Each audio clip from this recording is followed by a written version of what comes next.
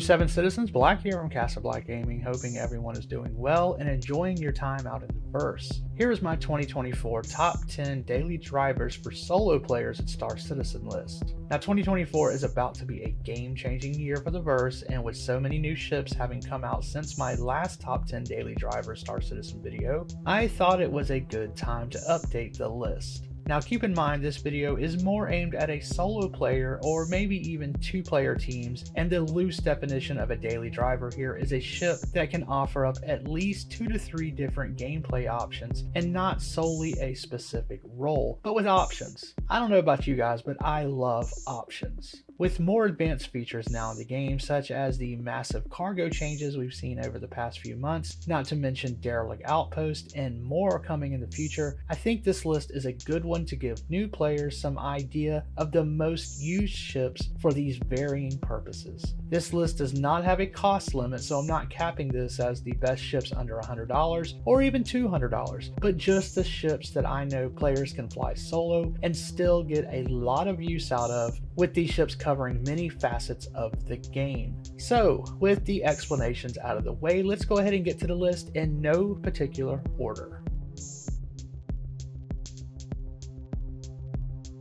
Now, whenever someone asks me which ship they can do combat well in, and yet also break into some cargo or delivery missions, I of course ask them how much they are willing to spend, and if that amount is around $60, I do not hesitate to tell them to try out the Avenger Titan. This was the first ship that I upgraded to from the Aurora, which only took me a day to realize that the Aurora was just not for me. Now one thing about my favorite ships is that I prefer back ramps over elevators. If a ship also has a secondary entry point such as a ladder around the cockpit, even better. And the Titan has both. You will not make a lot of money doing cargo runs with this, but this ship can make you a lot of in-game credits to buy something that can run you some good cargo, such as some of the other ships on this list. The Titan flies extremely well, and with its size 4 and 2 size 3 hardpoints, you can outfit some major firepower to take bounties down all the way up the chain. Its two shields are also great for its size, and this is a ship that so many of us use for years and has yet to be dethroned for its price per function, especially for someone learning more about combat. After taking out some of those bounties, you can also pack in some of the goods you find in their cargo hold, so long as you don't exceed the 8 SCU of storage, which again, for its size and cost, is a good amount of storage, allowing you to have a nice little daily driver.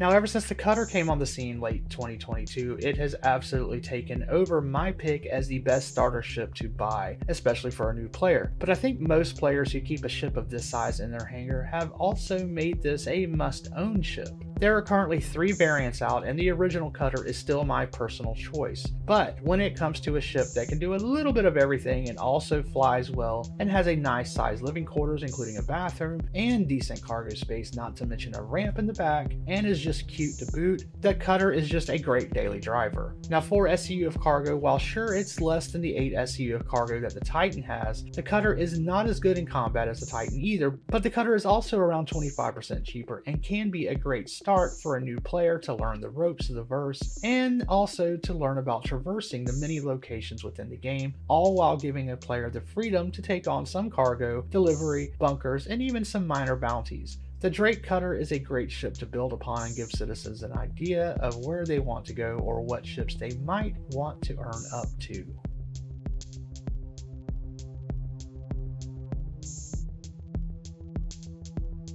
Okay, so rounding out the starter ship feeling ships is the all-new Gatac Syulen. This ship is similar to a couple of ships on this list, including the next one, but what sets it apart is that it is the only legit alien designed starter ship, and so for those players who want that vibe, this ship made the list. Now it might not have a large interior cargo bay, which will limit some forms of gameplay, but it does have 6 SCU of exterior cargo space, and the living quarters inside, complete with a bathroom, are great. Aesthetically, the ship is one of the coolest looking both inside and out, and I just love the lighting.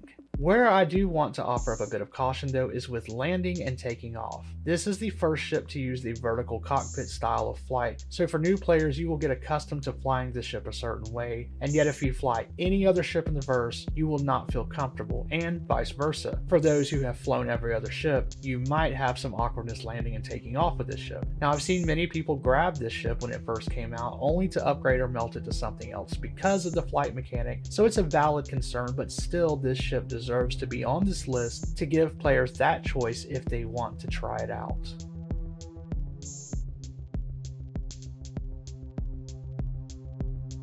Alright, so now that we're moving beyond basic starter ships needs, this is one of those ships that bridges the starter ship and medium specialty daily drivers. This ship is as unique as it is robust, offering up amazing space both interior and externally for storage. The design language is something I happen to like a lot, and this is one of those ships I at first was not a fan of, but has consistently grown on me over the last couple of years. While some cannot get over the truck bed cargo space in the back, it has proven time and time again to be very agile in what it can carry for those explorers who like to experiment, and with the recent changes to cargo and loot we can get off ships, it has come into its own even more so. Now add to this the fact that it offers up some multiplayer gameplay and you have a very good for the value ship that is many citizens daily driver or the stepping stone to a better daily driver and with the Nomad you cannot go wrong.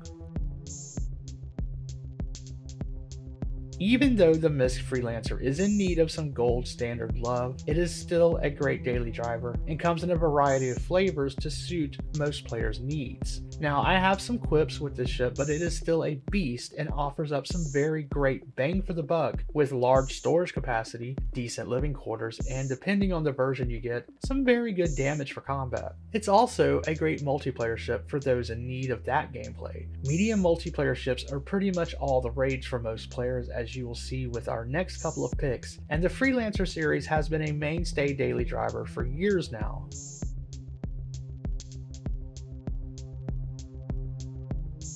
Although the Drake series of ships is often the butt of many jokes, there's a reason there are so many out in the verse, and another reason why there are three Drake ships that made this list. The Cutlass series of ships will always be seen at almost every station or outpost you go because they are highly functional and a good all around daily driver. Whether you're looking for a great daily driver for cargo carrying and solo or two player bounties, or you just want to do some medical gameplay, or maybe even some soon to be live bounty capturing. And let's not forget the highly flawed Cutlass steel, which most will agree is not worth its high price tag and cannot really take enough of a beating to be a decent dropship, but I do appreciate the effort and I hope it will one day be improved upon. The Cutlass Black has one of my favorite features in a game, especially for doing ship to ground combat, such as derelict outposts, and that are side opening doors, which makes great spots for snipers. Now, whether you're towing a mining rock around to do some land mining or helping your fellow citizens get healed, the Cutlass line has been been probably the most popular medium sized daily driver for a while now, but is it going to hold on to that title much longer?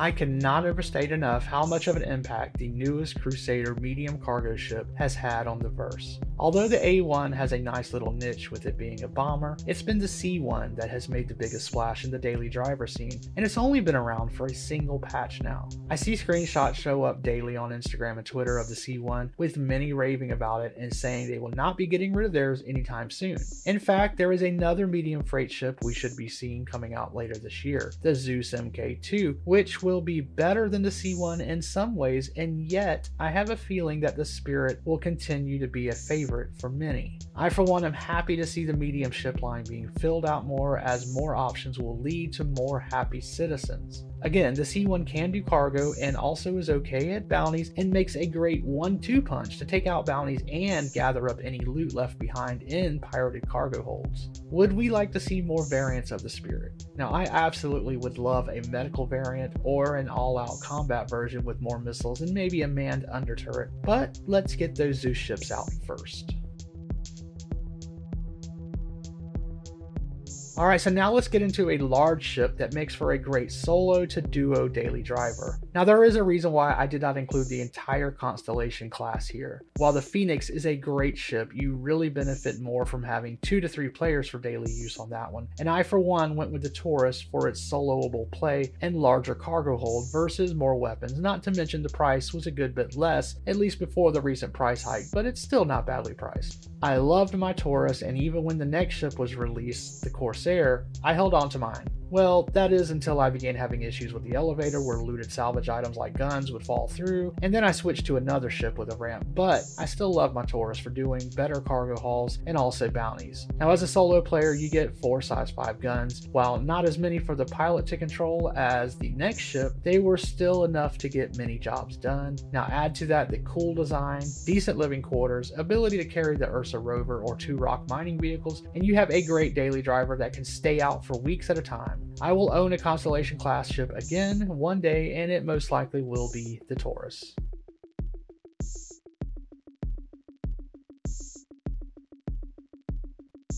This ship could have easily been called the Wrecking Ball because of how hard it comes in. Giving a pilot six guns to shoot is just insane and allows many players to solo top tier bounties with ease. Now if you combine that with the 72 SCU of storage, two entry points, crew quarters, captain quarters, and a kitchen and bathroom and roof access, and you have one of the best, if not the best multi-crew ship in its class, and it's the third Drake ship on this list. This ship came along and made others almost obsolete, and with its asymmetrical design, it has made people either an instant fan or an instant hater. Regardless of how you feel about owning it, you cannot deny the impact this ship has had on the verse. Its functionality is making it probably the new most used daily driver ship in the game.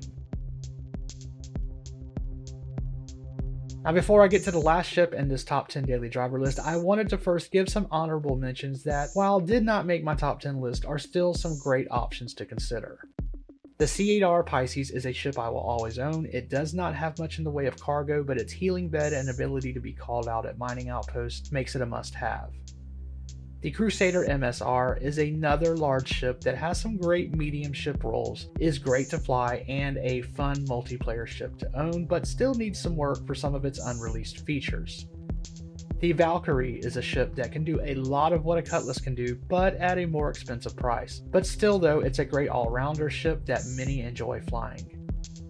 The Origin 300 liner ships are sleek, stylish, and a great ship for new players who prefer the finer things in life. Speaking of finer things in life, the 600i is currently getting a redesign and hopefully we'll get an update on it soon. It was recently in the top 4 best in show for 2023 and got one of the best paint jobs for any ship ever and is a great daily driver.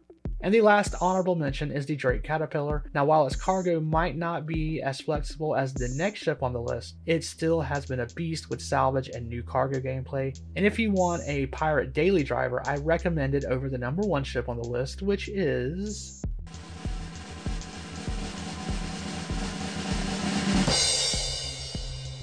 The Crusader C2 is a ship I feel most citizens should own, whether outright or by paying the 4 point something million it costs in game. I cannot tell you how often I have used this ship since purchasing it, and it is the only ship that can carry both tanks. It can also carry 696 SCU of cargo, which is just insane, and the most interior cargo of any ship currently in the verse. Now, I use this for cargo runs, salvage operations, training exercises, you name it. The C2 is a great ship that can be flown solo or with a crew of two or more. Now, as far as large ships go, the Hercules handles well and is not a slog to fly out of atmosphere. Whether you are solo or doing group or org play, the Hercules C2 is a must own ship that works as a great daily driver, especially with the newer features that are in the game.